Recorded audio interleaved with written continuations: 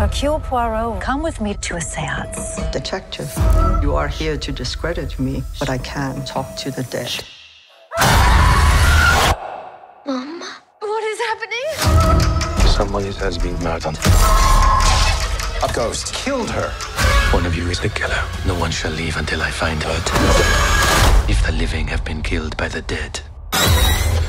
You were saying? A Haunting in Venice. Rated PG 13. Only in theaters September 15th.